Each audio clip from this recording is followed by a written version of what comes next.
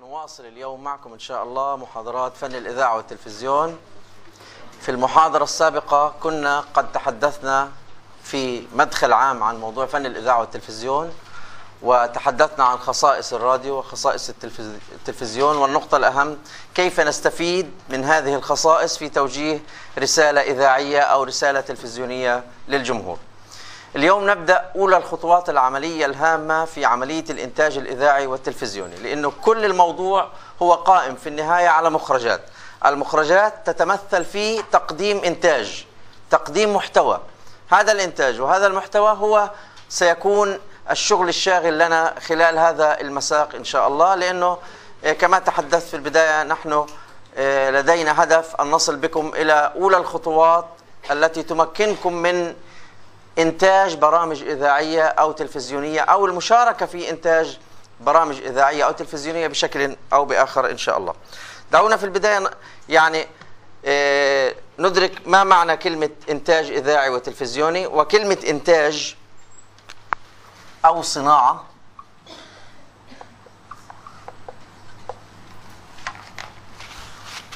مثلا هذه المادة العالم كما تراه صناعة التقارير التلفزيونية. لماذا يطلقون إنتاج وصناعة؟ بس رجاء آه تفضل. بيتم إعداد مخرج. قبل المخرج كيف بيخرج إلينا هذا المخرج؟ مراحل. لدينا عدة مراحل وكل مرحلة فيها مجموعة خطوات. وكل خطوة تستلزم مجموعة إجراءات مجموعة ترتيبات. فالمسألة فعلا هي حقا صناعة. نصنع اليوم مثلا أي سلعة معينة نبدأ بالمادة الخام وصولا إلى المراحل المختلفة حتى تصل إلى الشكل النهائي لهذه السلعة أو هذه المنتج. وهكذا التقرير الإذاعي والتقرير التلفزيوني يمر بمراحل متعددة تستحق كلمة إنتاج أو صناعة طبعا أكثر من العمل الصحفي المطبوع لأنه كما تحدثت سابقا الصحفي في العمل الصحفي المطبوع ينهي مادته ولا يدرك الخطوات الأخرى. طبعا هناك عملية إنتاج لكن الصحفي لا يعيش كل هذه المراحل. عندما أسلم تقريري أو مادة الإخبارية أو أرسلها عبر الإيميل لا أتدخل في الخطوات التالية. هناك خطوات أخرى لكن لا أتدخل فيها غالبا. أما في التقرير التلفزيوني أو الإذاعي الصحفي معد ومشرف وصاحب فكرة البرنامج يقوم عليه من الألف إلى الياء حتى في المراحل النهائية مراحل المونتاج حتى لو لم يكن هو منتجا أو لديه الكفاءة الكاملة في عملية الإنتاج ولكن لديه التوجيه المباشر في عملية انتقاء الصور وانتقاء الكلمات وما إلى ذلك من أشياء. طيب. أول حاجة الإنتاج عملية تحويل أفكار. هي الآن أي برنامج إحنا نشاهده أو نسمعه عبارة عن شو؟ قبل أن نبدأ في تفاصيل عملية الإنتاج ومراحلها المختلفة دعونا نتعرف على ما المقصود بعملية الإنتاج عملية الإنتاج كما ترون تحويل أفكار وقضايا البرنامج الذي نسمعه أو نشاهده أو حتى النشرة الإخبارية في إطارها تحمل ماذا؟ تحمل أفكارا تحمل قضايا تعبر عن الواقع والمستقبل والماضي في بعض الأحيان حسب تناول هذا الموضوع من الصورة المتخيلة أو المكتوبة اللي هي الفكرة اللي إحنا بتخيل بدي, بدي أنجزها وأحققها على أرض الواقع إلى إيش؟ إلى مادة متكاملة من كافة النواحي سواء على صعيد الشكل أو صعيد المضمون وهذا طبعا مهم جدا التوافق بين الشكل والمضمون في أي برنامج من البرامج يؤدي إلى نجاح البرنامج. تصوري أعددنا برنامجا سياسيا أو برنامجا رياضيا وفي مادة قوية. لكن النواحي الفنية والمؤثرات لا يوجد يخلو من أي مؤثرات وما إلى ذلك. يبقى البرنامج رتيبا باهتا فيش في شيء يميزه. والعكس صحيح أحيانا بيعالجوا ضعف المحتوى بقوة المؤثرات والشكل وما إلى ذلك. هذا ليس المطلوب. المطلوب أن يكون هناك تكامل وتوازن نسبي بين الشكل وبين المضمون. إذا مادة متكاملة هذه المادة تشتمل على صور وفيديو وصوت في قالب شيق وجذاب حسب طبعا الوسيلة إما إذاعة أو تلفزيون. الوسيلة الأقوى والوسيلة الساحرة دائما والأشد جذبا للجمهور هي التلفزيون لأنها تحتوي على خاصيتي الصوت والصورة. في قالب فني ماذا نقصد هنا؟ إحنا تعلمت في الصحافة المطبوعة القوالب الفنية. طب هنا ماذا نقصد؟ شكل البرنامج. شكل القالب هو شكل البرنامج. ولا أقصد بالشكل مجرد الديكور.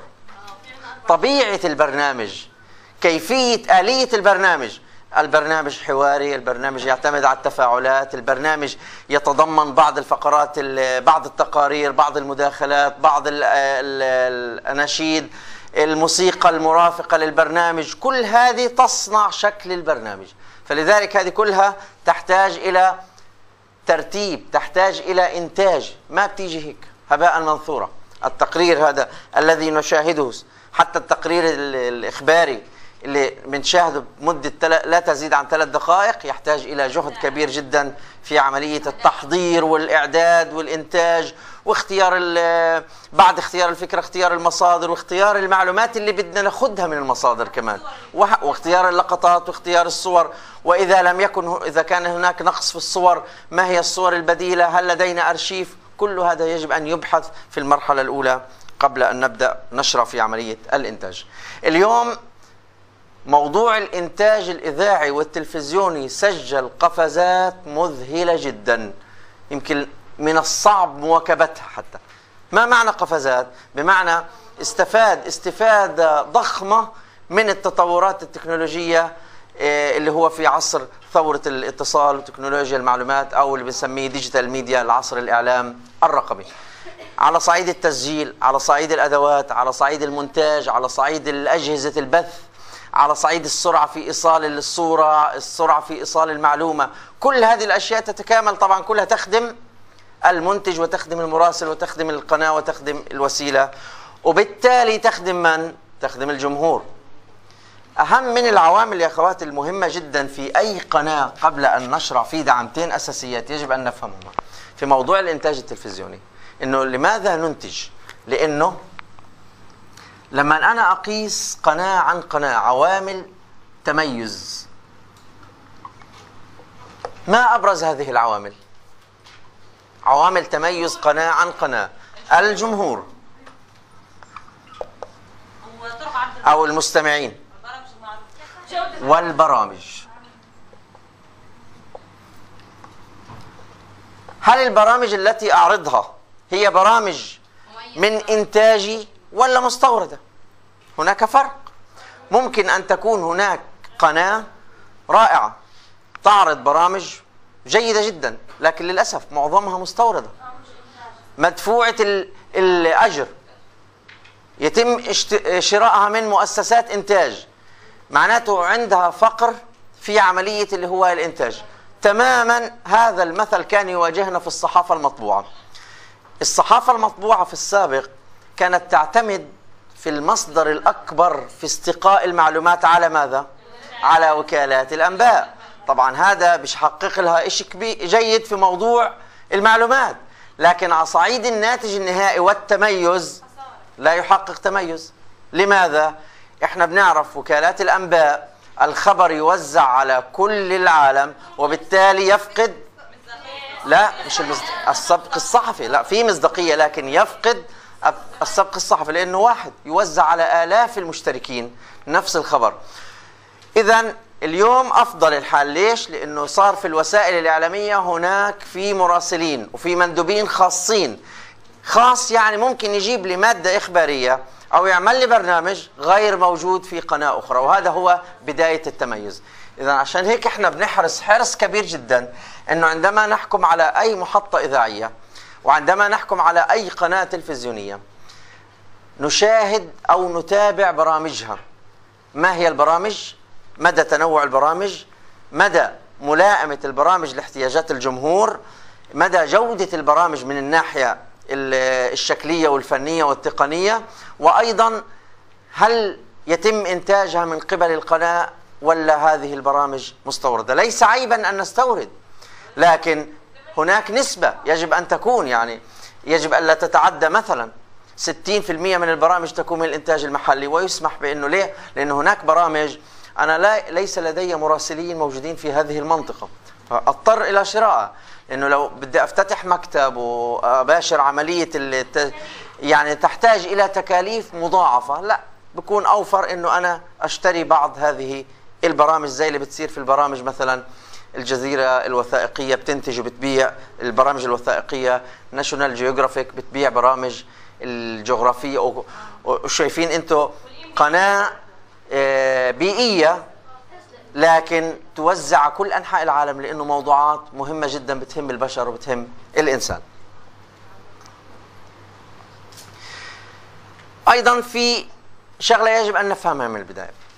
في الإذاعة والتلفزيون إحنا الجمهور لا يقرأ، لا يمسك الإذاعة والتلفزيون ليقرأ، ولكن ماذا يفعل؟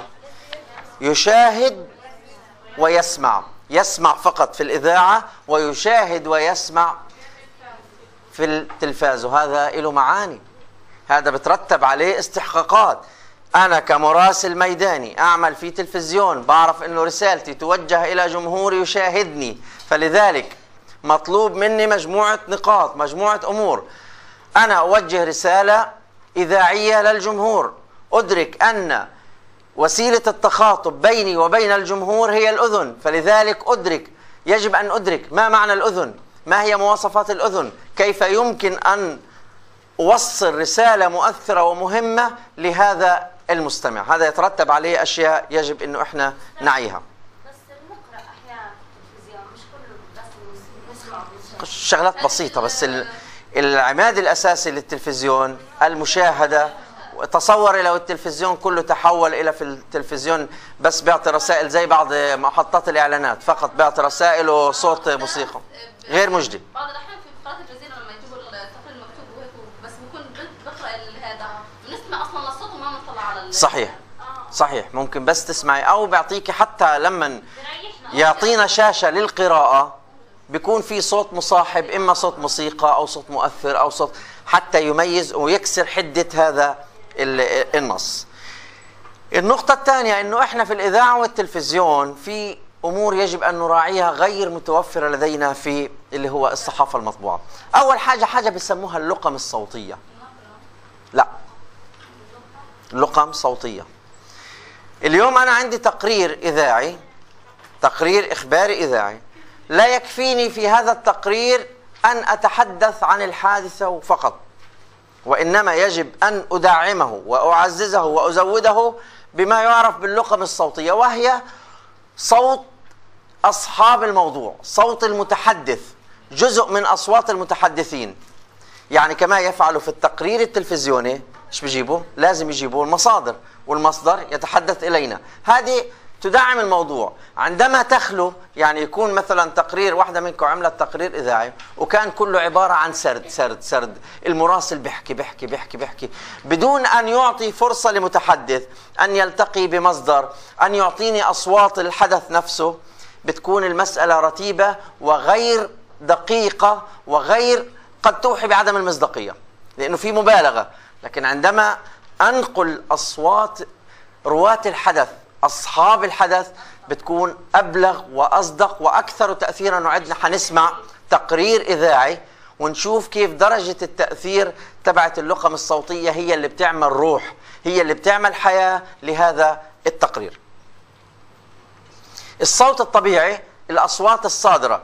اليوم مثلا لا سمح الله في عندنا انفجار في عندنا حريقة في عندنا أي حدث من الأحداث في أصوات في سيارات إسعاف في صوت ناس في صوت تكبيرات في مسيرة في احتجاجات في أصوات ممكن تكون أصوات أصوات سعيدة في مباراة في شغلة بلاش كلها تكون يعني حزينة وقتل وموت.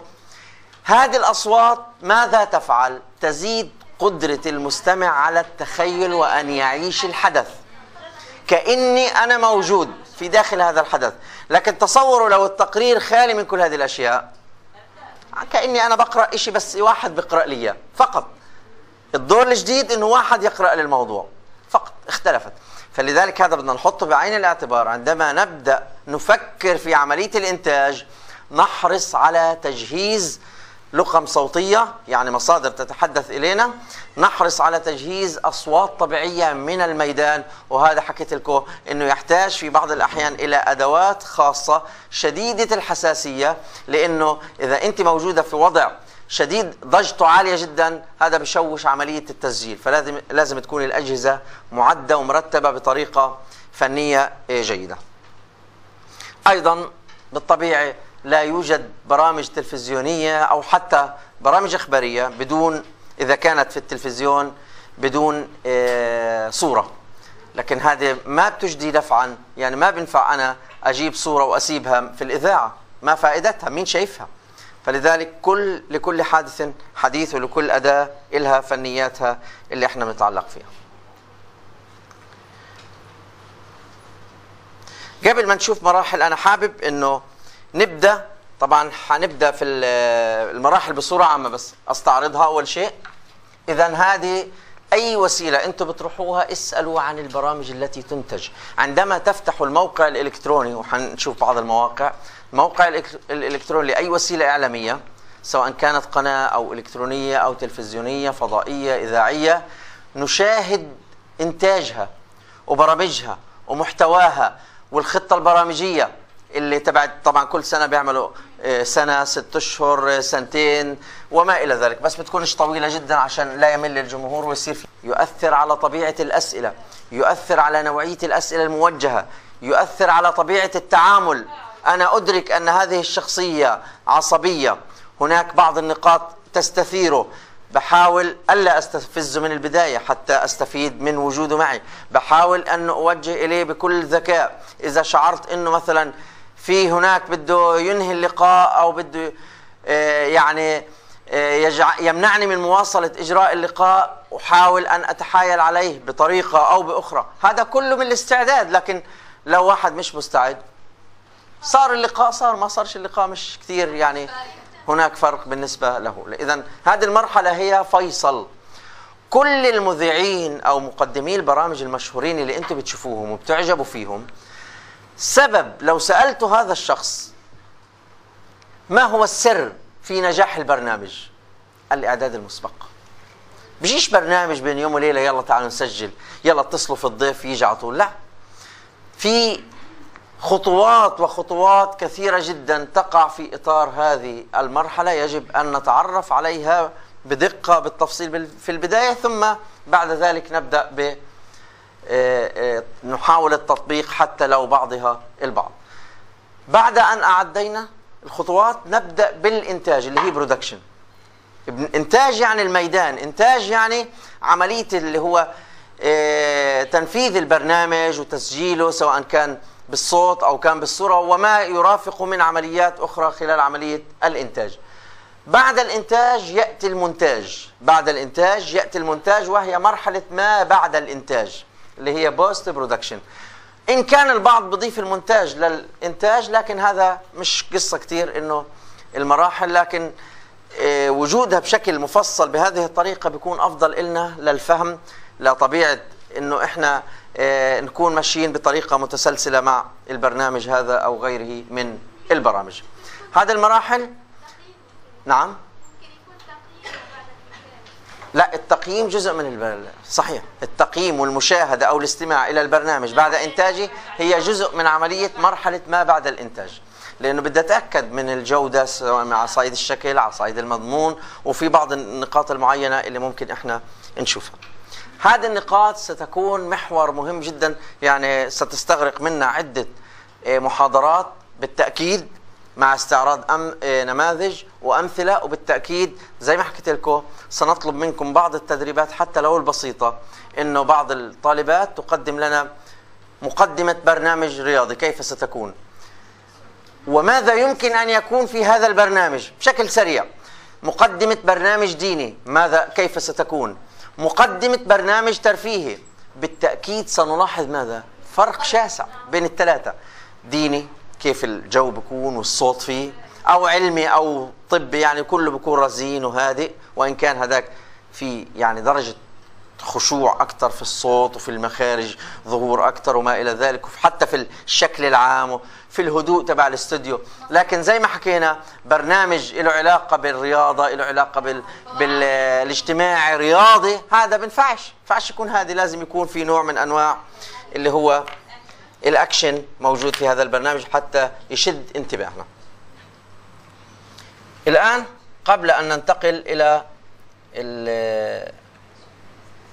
نشوف بعض التقارير.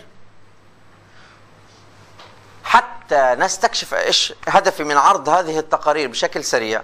إنه أنتم تبدوا معي تستكشفوا إنه آه والله هذا جهد كبير. أكيد أكيد المنتج عمل واحد اثنين ثلاثة أربعة. هذه حتساعدنا لما نيجي نستعرض الخطوات ومراحل الإنتاج حنعرف أنه فعلا هي مطبقة. يعني نستنتج جزء من هذه الخطوات والمراحل قبل أن نبدأ بشرحها وهذا أفضل للفهم والاستيعاب بالنسبة لكم خلينا نأخذ واحد واحد. إيه، نستعرض دعونا نستمع ونشاهد هذا التقرير التلفزيوني تقرير إخباري. نلاحظ المشاهد التي تم تحضيرها للتصوير الشخصيات اختيار الكلمات اللي هي السيناريو اللي هو توافق اللقطات المدة الإجمالية الترتيب العام لكل الموضوع المهارات الشخصية الخاصة بالمراسل النبرات طريقة الإلقاء كل هذه الأمور بدكم الآن تبدأ في ملاحظتها. يعني أتمنى عليكم من الآن فصاعدا أن تكثروا من من مشاهدة البرامج الإخبارية والبرامج العادية ولكن بنظرة جديدة. بنظرة صحفية وليس فقط بنظرة جمهور. حتى نستفيد من الوقت دعونا نشاهد هذا التقرير عن الوضع الصحي في غزة في ظل الأزمة الحالية وهو جديد. بالأمس هذا التقرير آه، إنتاج قناة الجزيرة قد يكون هذا المريض محظوظا بدخوله غرفة العمليات في مستشفى الشفاء بمدينة غزة.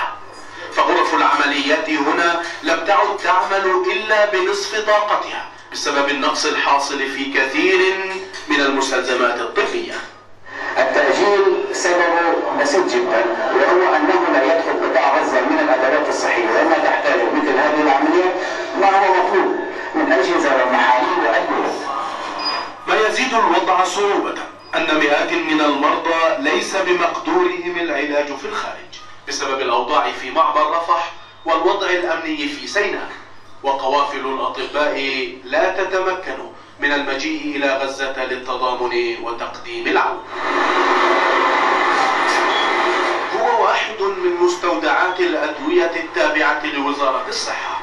الوضع فيه غني عن البيان وهو ما يثير قلقا شديدا.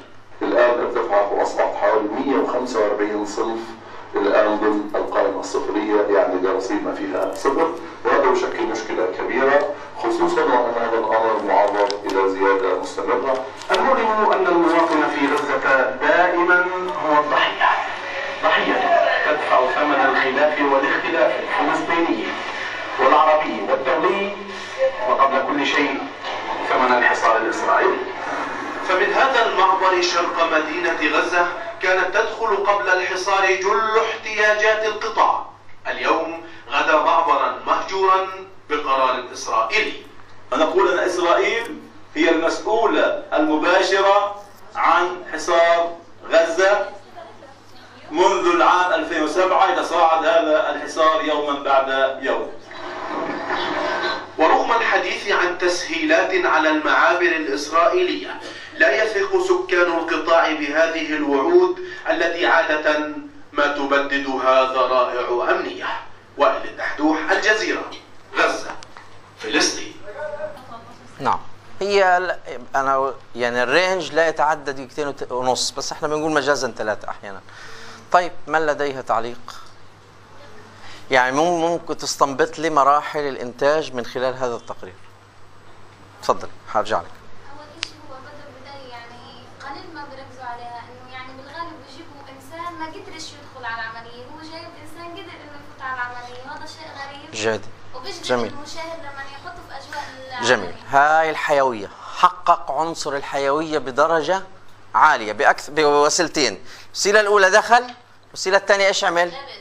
ارتدى زي تماما زيه زيه. فكان واحد منهم. ماشي ما هذا جزء من المراحل.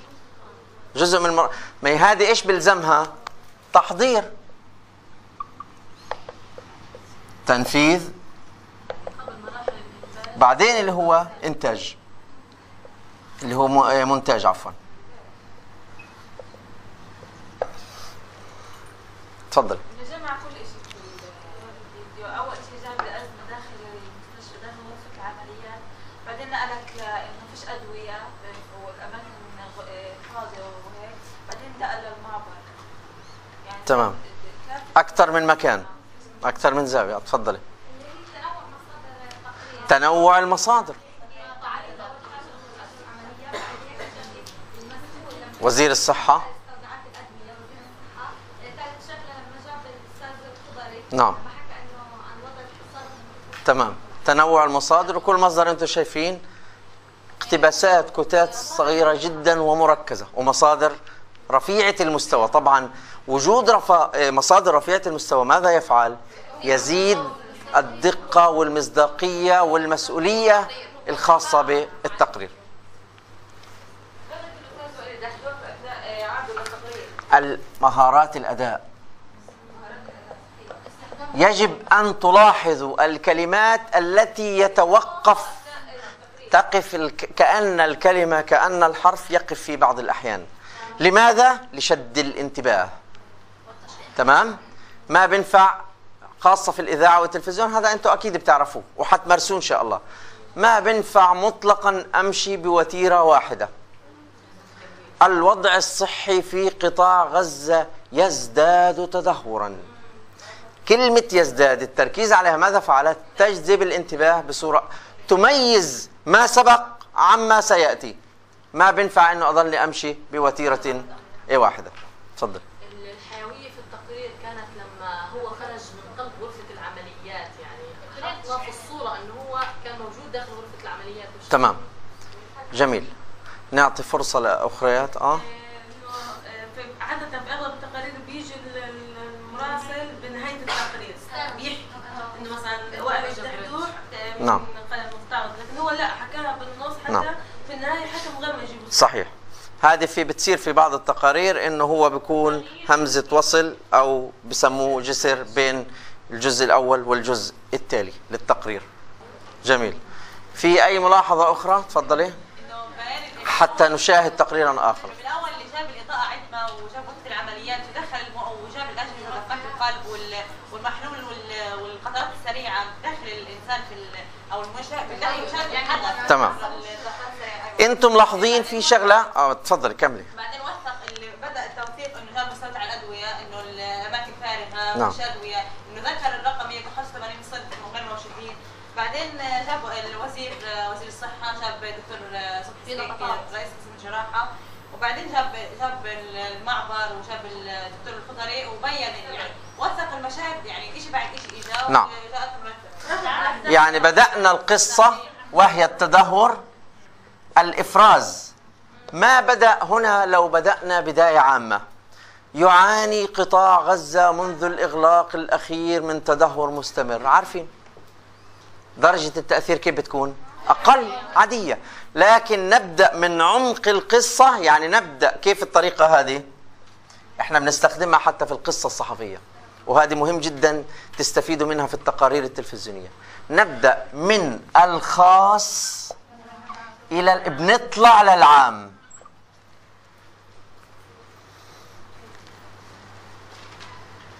الأزمة بسبب المعبر.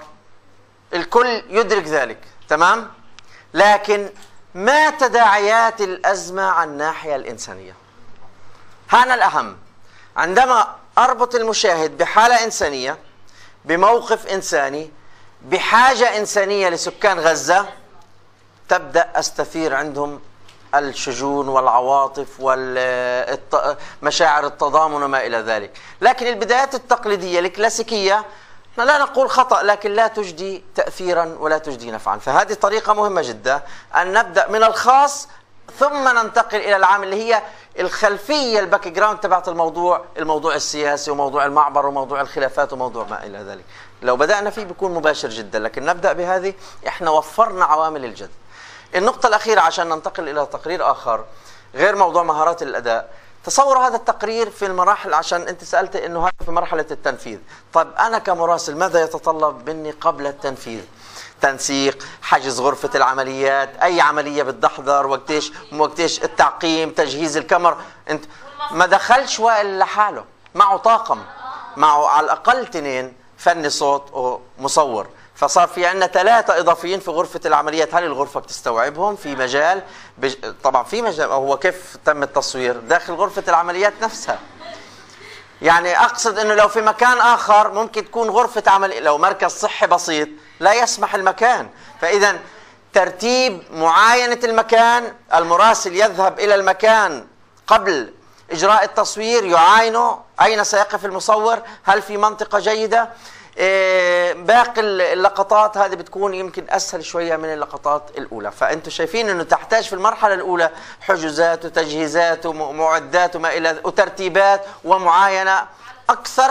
إذا اطمنا إنه كل هذا متوفر نبدأ ننتقل إلى الشيء الآخر. يعني. هي الآن هذه سرعة الإنجاز تيجي بالخبرة. وبعدين اسم القناة له دور. فبصير الكل يتكاتف من أجل تسهيل الأمور. يعني حاولوا بشوف الكشف بيذهب إلى المسؤولين عن الجراحة إيش العمليات اللي عندكم مثلا متوفرة؟ ممكن يعمل بث مباشر. إذا بتذكروا في العدوان الأول لما جابوا الطفله أعتقد من الطفلة اللي رفع عنها أجهزة التنفس الصناعي من مستشفى الشفاء بث مباشر. كانت تموت على الهواء بث مباشر. لأنه كانت خلص انتهت استنفذت معها. من لا لا مش مش المظلوم. المظلوم قصة ثانية عملها تامر المسحال. لا. لا لا هذه أعتقد أعتقد الكفارنة. أعتقد الكفارنة. المهم العبرة في إنه يعني القضية كانت بث مباشر من داخل غرفة العناية المركزة وكانت طفله في أنفاسها الأخيرة آه، تعيش على الأجهزة الاصطناعية واستنفذوا معها كل الوسائل ورفعوا ساعتها وأعلن عن استشهادها. في نفس اللحظة اونلاين بث مباشر. فكانت طبعا شدة التأثير ودرجة التأثير جدا عالية يعني. أنت بتحكي عن إنسان يموت أمام الجميع ويشاهده. الطفلة السورية اللي شفتوها من الكيماوي اللي صارت تتحسس جسدها هل أنا عايشة؟ أنا عايشة وين أنا؟ برضو هذا مشهد مؤثر ومؤلم وقاسي جدا تقشعر له الأبدان. لاحظوا هاي تقرير قديش طلعنا منه ملاحظات تفيدنا في إنه نفهم عملية الإنتاج. واضحة كيف الصورة؟ دعونا نشاهد تقرير آخر. خلينا نشوف الأجزاء المكونة لهذا التقرير وأنتم تحكموا كيف مدى حيوية التقرير وقوة التقرير. ركزوا معي أيضا وسجلوا ملاحظات.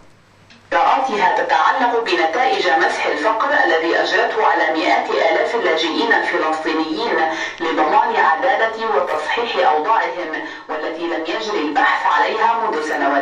طويلة هذا ما أخبرنا به عدنان أبو حسنة المستشار الإعلامي للأنروا وقال المساعدات الغذائية ستتوقف عن حوالي 9558 أسرة ولكن في نفس الوقت تم إضافة حوالي 5430 أسرة جديدة. هذه ستستفيد من المساعدات. وتم أيضا زيادة كمية المساعدات لحوالي 4002 أسرة تقريبا. هذه كانت تتسلم مساعدات ولكن ثبت من البحث الجديد أن هذه الأسر تحتاج إلى مساعدات أكثر. وفي نفس الوقت هناك 1723 أسرة سيتم تقليص المساعدات التي تتسلمها ولكن لن يتم وقف. هذه المساعدات وأضاف أبو حسن أن مسح الفقر الذي نفذته الوكالة لا يتعلق بتمويل هذا البرنامج وإنما يستهدف الوصول إلى الفئات المستحقة فعلا للمساعدة خاصة في ظل وجود بعض التحولات الاجتماعية في مستوى حياة السكان في قطاع غزة خلال السنوات الماضية. اللاجئون الذين طالهم وقف المساعدات الغذائية عبروا عن غضبهم لقرارات الأنروا مؤكدين أنها ليست المرة الأولى التي تتخذ خلالها تلك المنظمة قرارات وصفوها بأنها جائرة بحقهم بعد أن أوقفت المساعدات النقدية المقدمة لأكثر من مئة ألف شخص قبل عدة شهور.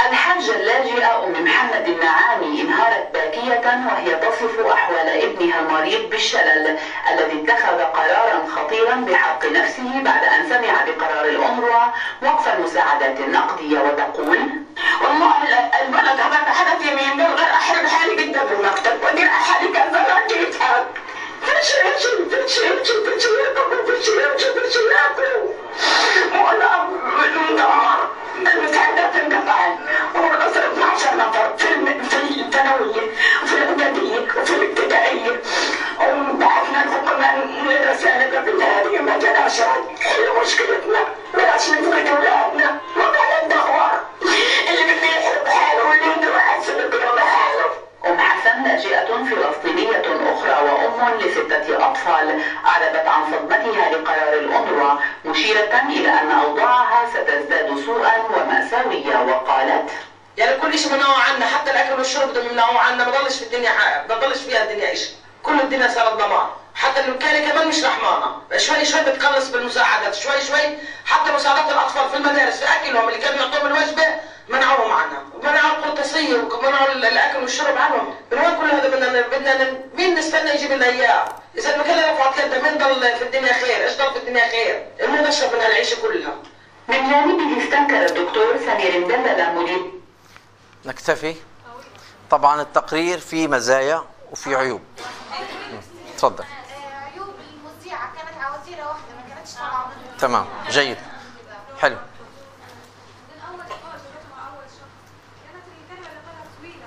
طويلة وفي كمان شغلة مهمة جدا في الإذاعة. بالضبط. تكدس في الأرقام. نحن نخاطب الأذن. الأذن شديدة الحساسية. شوية أرقام معلومات زيادة مش أرقام. تفقد تفقد خلاص تفقد التركيز. فما بالك عندما تكون هناك أرقام عديدة؟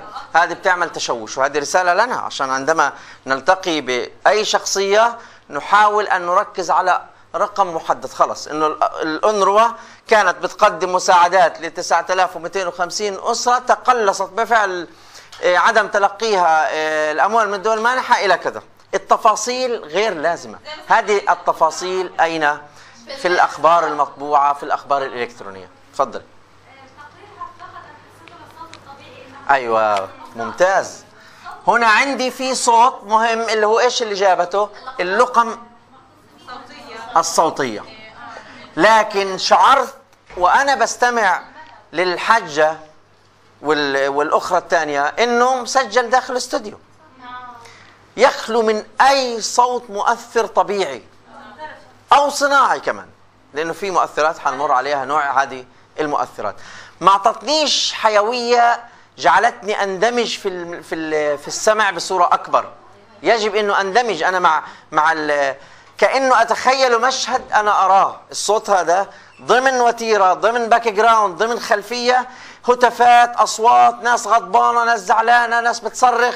هذا الصوت اللي لازم يكون مرافق لخلفيه لهذا الموضوع.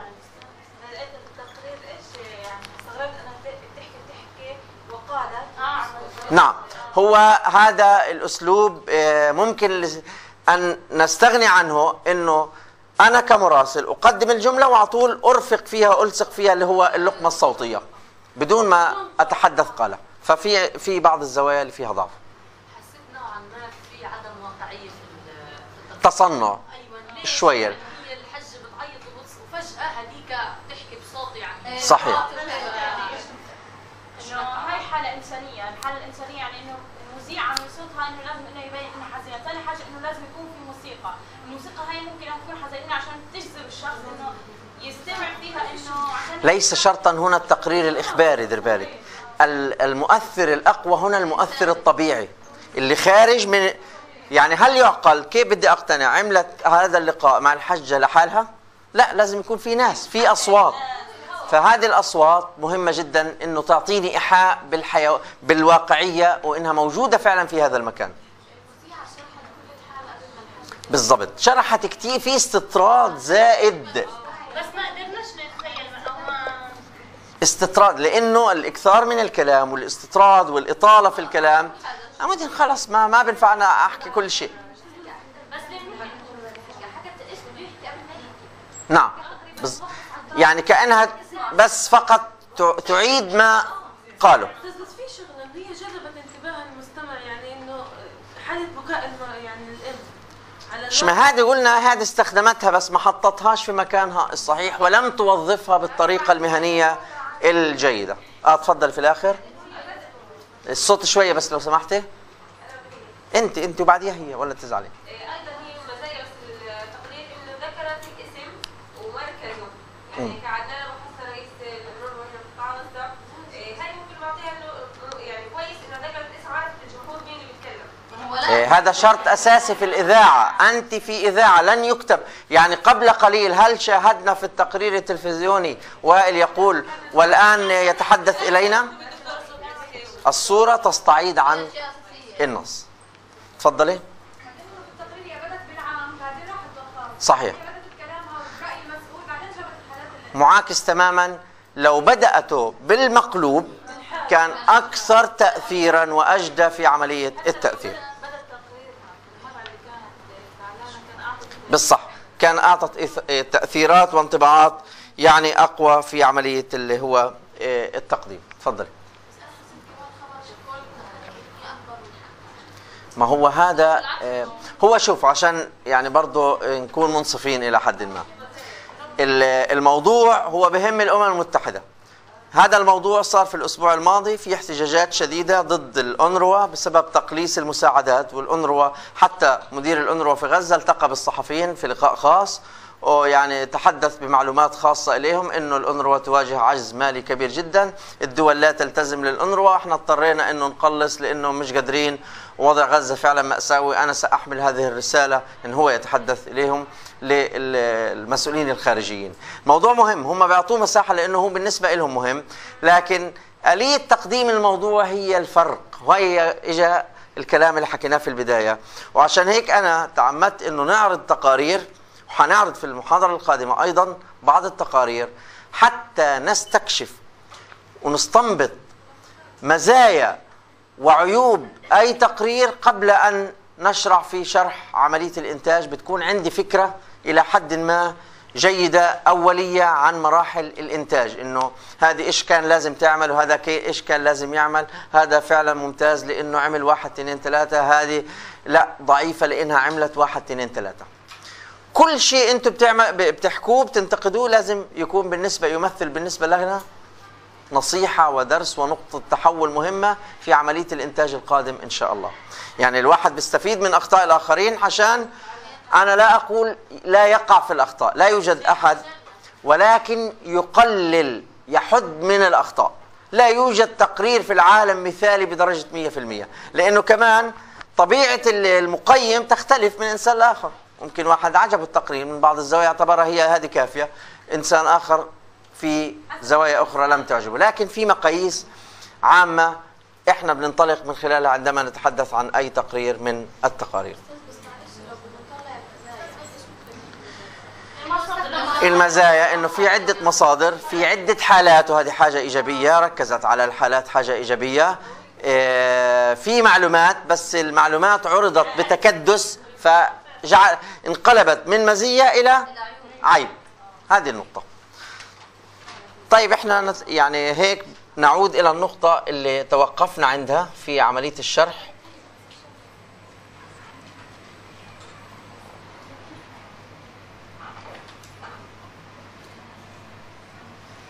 بدنا نفهم يا أخوات إنه عملية الإنتاج عملية مضنية ولكن شيقة وممتعة لإنه بتخلي تجعل الإنسان يعيش تجارب جديدة أحداث جديدة يكتسب خبرات جديدة. تصوروا كيف التقرير الأول والتقرير الثاني لا نقلل من قيمة أي تقرير من التقارير كل تقرير يبذل المراسل والطاقم معه طبعا لا يعمل بمفرده جهدا كبيرا في إنتاجه سواء يعني حالفهم الحظ بدرجة عالية أو متوسطة أو متدنية. هذه تعتمد برضو الخبرات لها دور. الخبرة الإنسان اللي يقدم التقرير وحتى اللي يصور وحتى اللي يعمل على موضوع الصوت كلها لها دور. يعني الصوت واضح جدا. ممكن إذاعة تعطيك صوت رديء جدا. ففي أشياء فنية نحن أيضا آه، آه، لا ندركها الآن سندركها مستقبلا إن شاء الله. هذه المراحل سنخوض فيها إن شاء الله. كما رأيتم وكما سمعتم من خلال الاستماع من خلال القدرة على التقييم حتى نبدأ ننمي لديكم كمان القدرة على التقييم لأنه أنتم جمهور أيضا قبل أن تكونوا صحفيات أنتم جمهور يعني لديكم رؤية لديكم لديكم قدرة على التمييز فلذلك هذه شغلة إيجابية أنه نستطيع من خلالها نط- نستعرض فيما بعد إن شاء الله مراحل الإنتاج الإذاعي والتلفزيوني المختلفة.